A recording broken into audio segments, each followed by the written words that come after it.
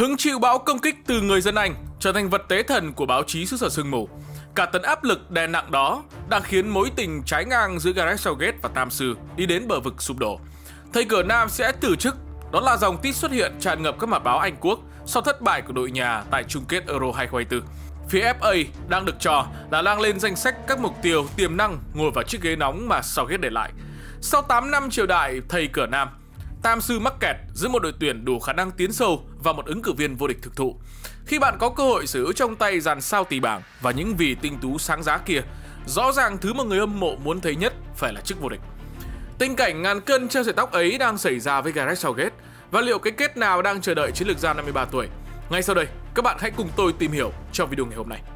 Southgate hiện đang là một trong những từ khóa thuộc top tìm kiếm trên các nền tảng mạng xã hội Tất cả đổ dồn ánh mắt ngờ vực và sự chỉ trích về vị huấn luyện viên 53 tuổi sau khi tuyển Anh tiếp tục ngã ngựa trước ngưỡng cửa thiên đường. Nhiều người cho rằng phải rất may mắn Tam Sư mới có cơ hội góp mặt ở chung kết Euro 2024. Và khi đến trận đấu cuối cùng, khi không còn được may mắn đồng hành, tuyển Anh của Southgate đã lộ nguyên hình. Họ thua Tây Ban Nha một cách toàn diện bởi một thế trận hèn nhát mà thầy cửa Nam đã đem đến Berlin. Thêm một lần bóng đá không thể trở về nhà và người Anh sẽ phải đợi thêm ít nhất 2 năm nữa cho một hy vọng nào đó tại World Cup 2026. Đến khi đó, Tam Sư vẫn còn được dẫn dắt bởi Gareth Southgate. Đó có lẽ là một thảm họa trong mắt nhiều người.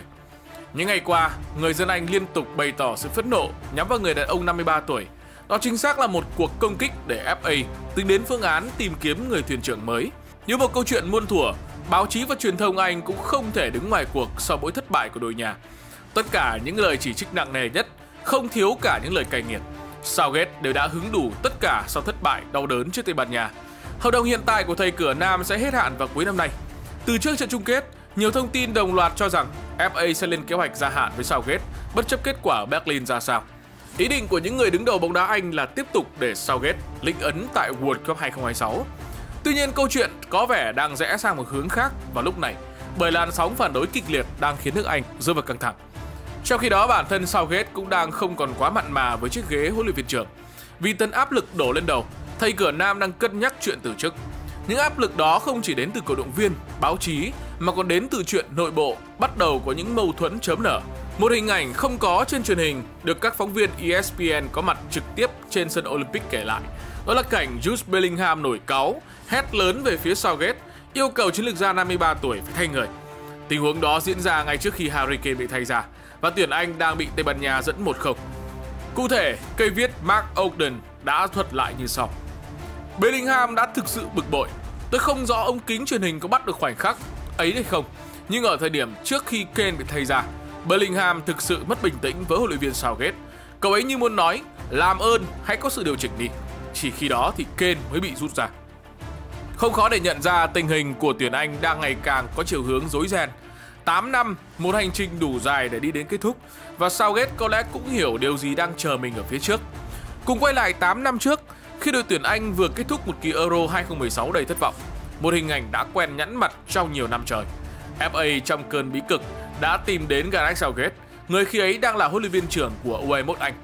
Cả tá sự hoài nghi bắt đầu dịch chuyển sang hy vọng. Khi trong giải đấu lớn đầu tiên dẫn dắt tạm sư là World Cup 2018, Southgate đã đưa đội nhà đi đến bán kết đó là một thành tích vượt kỳ vọng, bởi ai cũng hiểu rằng tuyển Anh chỉ là hổ giấy trong những giải đấu lớn trước đó. Chiến tích của Southgate ngay ở sân khấu lớn đầu tiên mở ra rất nhiều kỳ vọng cho một hình hài mới của đội tuyển Anh. Tuy nhiên sau 6 năm, mọi chuyện vẫn y như ban đầu. Ở Euro 2020, tam sư của thầy cửa Nam đi đến chung kết, World Cup 2022 là tứ kết và Euro 2024 là thêm một lần chung kết nữa. Suốt những năm qua, anh cho thấy họ là một đội tuyển đủ khả năng tiến sâu ở các giải đấu lớn đó chính xác là một sự cải thiện rõ rệt so với hình ảnh trước đây. Quãng thời gian mà rất nhiều kỳ World Cup và Euro chứng kiến tam sư sách vali về nước từ vòng bảng. Khá hơn thì vòng knock-out đầu tiên. 6 năm đã qua kể từ giải đấu thành công trên đất Nga, rõ ràng câu chuyện sẽ không chỉ còn là tiến sâu mà với một thế lực tầm cỡ như là đội tuyển Anh thì đó phải là vô địch. Danh hiệu là thước đo chính xác nhất cho một đội tuyển và với tam sư của Southgate, nó vẫn là con số không tròn chỉnh Suốt 6 năm, thầy cửa Nam vẫn loay hoay với những tính toán của mình, sở hữu trong tay nguồn tài nguyên mà bất cứ huấn luyện viên nào cũng phải mơ ước. Đó là hàng loạt ngôi sao sáng giá trong đội hình, dàn nhân sự đồng đều và vô cùng đa dạng các lựa chọn. Thế nhưng tuyển Anh của Southgate luôn là một đội tuyển chơi nhạt nhòa, không có bản sắc và sống dựa vào những khoảnh khắc ngôi sao. Southgate có trong tay tất cả những công cụ cần có để tạo nên một chiếc Ferrari, nhưng ông lại biến chúng thành các chiếc Fiat. Ở Man City, chúng ta có một người luôn nghĩ nhiều là Pep Guardiola, nhưng với Gareth Southgate, người đàn ông này còn nghĩ nhiều hơn. Ở đây là một sự khác biệt rất lớn. Pep luôn chuẩn bị trong đầu nhiều kế hoạch, tính toán kỹ lưỡng từng biến số để giúp đội bóng phản ứng kịp thời trong trận đấu.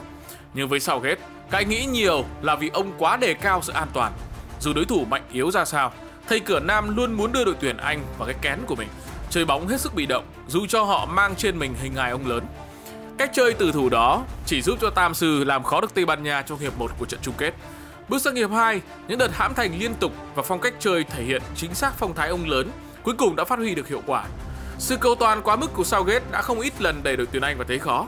Trận chung kết Euro 2020, Tam Sư dồn ép đội tuyển Italia đến nghẹt thở trong hiệp 1 bằng một thế trận tấn công áp đảo. Nhưng sang hiệp 2, họ bất ngờ chơi trùng xuống để bảo toàn tỷ số theo chỉ đạo của Southgate. Và kết quả là bị Azuri lật ngược thế cờ theo cách nghiệt ngã nhất. Southgate nghĩ nhiều nhưng lại bị động ở khâu thay người, đưa ra những sự điều chỉnh kịp thời. Thật khó để một huấn luyện viên có trình độ ở mức này dẫn dắt đội tuyển Anh. Đội tuyển luôn nhận được sự quan tâm nhiều nhất từ tất cả. The Guardian đưa tin, trong trường hợp Southgate rời khỏi ghế nóng, có 3 ứng viên thay thế tiềm năng nhất xuất hiện là Graham Potter, Mauricio Pochettino và thậm chí là huấn luyện viên hiện tại của đội U21 Anh, Lee Casley. Hiện Potter và Pochettino đều là những người tự do sau chat sa thải của Chelsea. Trong khi đó với Casley, chiến lược gia này có thể đi theo đúng con đường trước kia của Southgate là từ nắm quyền đội U21 lên nắm quyền đội tuyển. Trong một chia sẻ trước thềm Euro 2024, Southgate cũng không hề giấu giếm ý định dẫn dắt một câu lạc bộ ở Premier League trong tương lai. Công việc tại Premier League rất khó khăn và áp lực, nhưng đó là giấc mơ của nhiều chiến lược gia. Tất nhiên tôi rất thoải mái khi được làm huấn luyện viên tuyển Anh, nhưng tôi không thể khẳng định mình sẽ đảm nhận nhiệm vụ này trong vòng 20 đến 30 năm nữa. Tôi chưa có quyết định cho tương lai, tôi vẫn bình tĩnh và tận hưởng cuộc sống hiện tại. Sau một tháng, có lẽ Southgate sẽ chẳng còn thời gian để bình tĩnh và tận hưởng nữa. Báo chí, truyền thông và người dân Anh đang thực hiện một cuộc tổng công kích đòi chiến lược gia 53 tuổi rời khỏi chiếc ghế nóng. 8 năm, một hành trình, khởi đầu với hy vọng và rồi kết thúc trong thảm kịch.